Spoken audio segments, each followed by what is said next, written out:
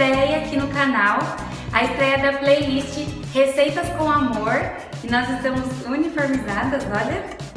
Tô muito feliz, gente. Pra quem assistiu o vlog na semana passada, a gente fez uma saga de compras, mas na verdade eu tô planejando já faz mais ou menos uns dois meses. Aí minha mãe ia me dando ideias, a gente foi acrescentando coisas. E agora estamos aqui, enfim, nessa estreia. Eu tô muito feliz, meu coração tá cheio de alegria. Eu também. Como que vai funcionar, né, esse, esse quadro? Eu vou convidar pessoas muito queridas. Hoje, a pessoa mais querida da minha vida, minha mãe, Meu amor. que tá comigo em todos, todos os momentos da minha vida, tristes, felizes, mais felizes, né, mãe? Mais feliz.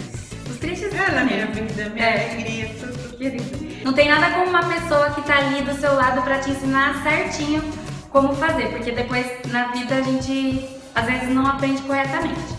Então, pra começar hoje, a gente vai fazer uma receita super fácil que eu amo demais.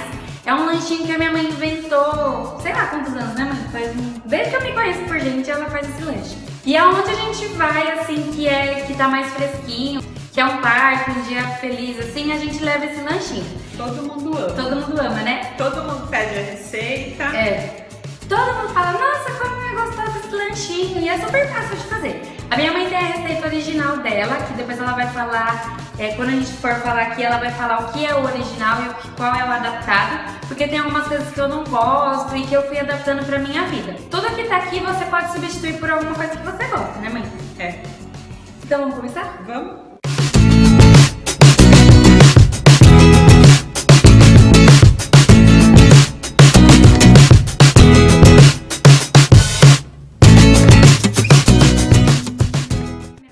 Ele é tão facinho que a gente vai misturar tudo. Então a gente vai pôr aqui numa tigela, ó, duas colheres de tomate,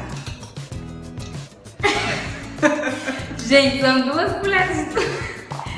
ah, eu acho que tem duas aqui. Não, vamos começar de novo? Essa Não, não, vamos continuar. Ó, duas colheres, aproximadamente, ó. Tá vendo? É que aqui a gente pôs mais pra fazer um volume bonito, tá, gente? Perfeccionista. Então aqui a gente tá fazendo uma receita para uns 3, 4 lanchinhos, porque a gente só vai fazer a mesa, É. tudo. Mas quando você quiser fazer para mais pessoas, não tem essa de quantidade. Você vai no olho ali, Tipo uma saladona. é tipo uma saladona que vai misturar. Então você pode fazer a quantidade que você quiser. Uma colher dessa daqui. Salsinha, ela não gosta muito, mas tem que pôr. A salsinha é, uma coisa fresquinha que tem que pôr, Tem que né? pôr. E a única receita que eu gosto de salsinha é aqui mesmo. Cenoura, duas colheres. Olha, gente, Ah, cenoura três. ralada, tá vendo? Melhor por três, viu? Três colheres de cenoura. Não, põe duas. Duas colheres. Vamos Ela lá. sempre vai ficar um pouquinho mais do que o tomate, tá, gente? Por três. Suas colheres. Ah, eu vou jogar aqui. Suas colheres não tá muito generosa. Ela sempre tem que ficar um pouquinho a mais do que o tomate, Isso. pra ela ficar bem Bem, laranjinha. isso, bem, Então põe aí. bem laranjinha. Agora a gente vai colocar... Agora vai pôr uma colher de cebola, bem picadinha. É, gente, porque a cebola, eu gosto de cebola, não tenho nada contra. Só que quando você põe ela muito grosseira, que tem gente que corta na mão assim e já vai colocando, fica depois um lanche ardido, então tem que tomar cuidado com isso, porque como os outros, os outros ingredientes são ingredientes delicados, com sabor suave, se você coloca muita cebola, a não ser que você Ela goste vai muito, predominar. não vai predominar. E depois você fica com aquele bafo de cebola, né, mãe? Fica. É uma coisa de louco. Então eu pus aqui só uma colher, porque eu particularmente não gosto de muita, muito ardido. E agora, Pimenta pra temperar, pimenta do reino. do reino. Se você tiver aqueles tempero baiano ou o que você gostar de temperar, você pode temperar. Mas a nossa preferida é a, É do reino. é a do reino. Mexe assim do jeito que ela tá fazendo. Pra algumas pessoas, pra gente lá em casa, a gente não põe sal. Mas se você quiser pôr sal, então Agora como a gente vai usar o requeijão, vai usar o queijo, o presunto, então vai ter um salzinho aí, não vai ficar sem sal. É. E o pão também já é salgado. É só pra não ficar aguado mesmo. Então aqui é isso, ó, misturou bem. Ó, fica uma salada bem bonita, tá vendo? Fica bem colorida. Aí o que, que você faz? Você vai misturando, se mais você... um pouquinho de salsinha. Ah. Se você vê que você vai é, precisando de mais uma coisa ou mais outra que você goste mais, aí você vai acrescentando. O bom dela é isso, que não tem nenhuma regra. É. Só que tem que tomar cuidado para equilibrar em questão da cebola, no caso. Inclusive, a receita que eu fiz a primeira vez não era requeijão. Na época tinha uma maionese de azeitona preta. Hoje eu não estou encontrando mais. Mas é, a azeitona preta fica muito gostoso. E outra coisa também que eu coloco é a própria azeitona verde aqui nessa saladinha, mas como ela não gosta de azeitona, eliminou lá em casa. Azeitona é só na pizza, aquela que você tira e pronto. Então, porque a azeitona salga as coisas, depois, é, se você não come na hora, depois fica salgada. E até por isso que eu não colocava sal, porque eu colocava azeitona.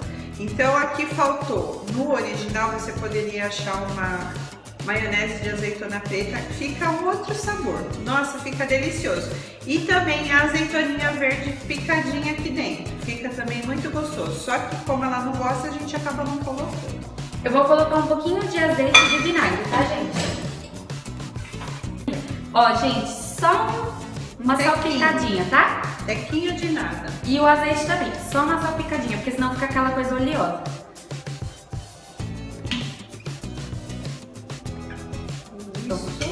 E aí você experimenta e vê se tá bom de sal, se não tá, se quer colocar mais. E no nosso caso a gente não coloca, porque já fica uma coisa bem temperada. E aí é isso, gente, olha, super fácil, mexeu. Ficou linda, ela fica uma cor bem bonita. Assim. É um lanchinho muito agradável de servir, reunião, festinha, piquenique, tudo. Agora, Agora a gente vai montar o lanchinho, né? Isso.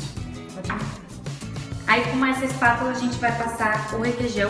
Você pode passar requeijão, catupiry, é, é, maionese. Aí a primeira base é o pão, depois vem o requeijão, aí depois vem a saladinha. Tá saladinha, tá ó. Você coloca uma quantidade que não fica saindo muito pra fora. É, aqui, ó. Tá vendo? Esse tanto, tipo um canapézinho, ó. Isso, né? Aí você vai vir e pegar duas fatiazinhas do queijo e duas do presunto. E você pode também adaptar com outros tipos de frios e até fermentado, né, mãe? Peito de peru. A gente vai fazer uma decoraçãozinha, tá bom? Um tomatinho cereja, ó.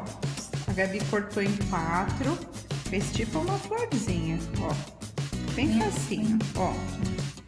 E aí uma salsinha, você faz o acabamentinho aqui, ó isso se você for servir numa mesa, né? Num, num chá da tarde, num, num piquenique, num café que você vai fazer na sua casa. Agora, se você for fazer um lanchinho, não precisa da decoração.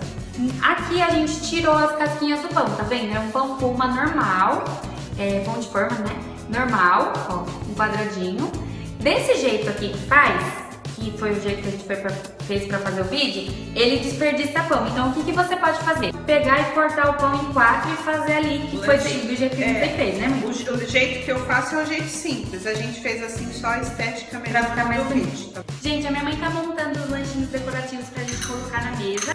Eu esqueci de terminar de falar pra vocês como que vai funcionar o quadro, né? Então a gente, eu vou convidar pessoas muito queridas e a pessoa vai vir, vai ensinar alguma coisa, ou eu vou ensinar alguma coisa pra pessoa,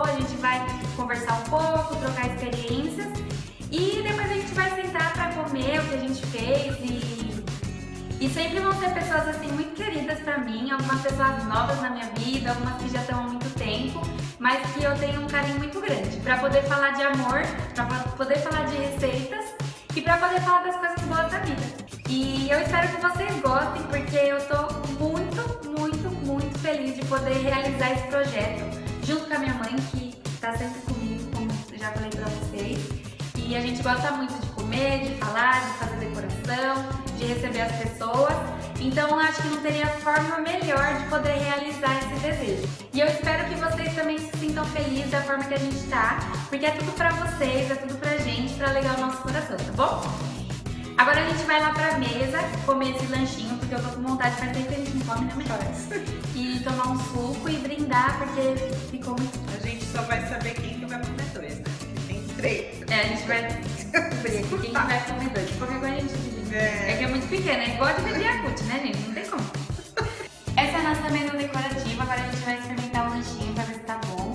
Tenho certeza que tá, porque eu e minha mãe juntos, ninguém Ninguém segura. Com a gente ninguém pode. Então vamos brindar, né, gente? Porque a estreia merece comemoração. Sim. Viva! Viva o canal, viva o quadro, viva a comida, viva o amor. Muito obrigada por tudo. Eu tô muito. Não vou cansar de falar isso pra vocês. Então, viva! Agora vou experimentar o lanchinho, né? Pra ver se tá bom. Até pra pôr. Primeiro eu vou aqui, que eu amo.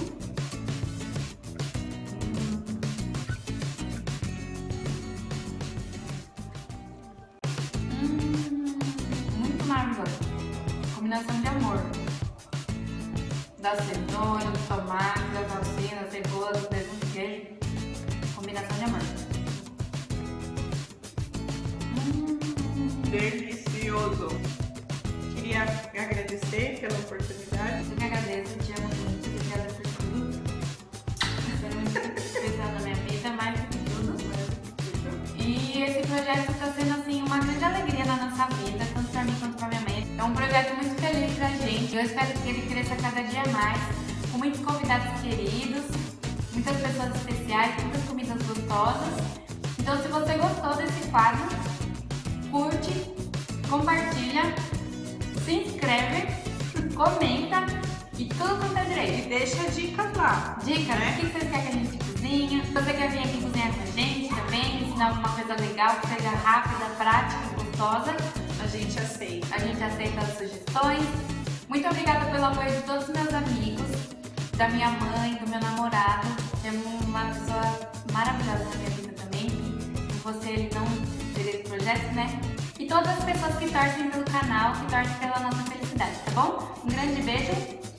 Até o próximo vídeo. Tchau! Tchau.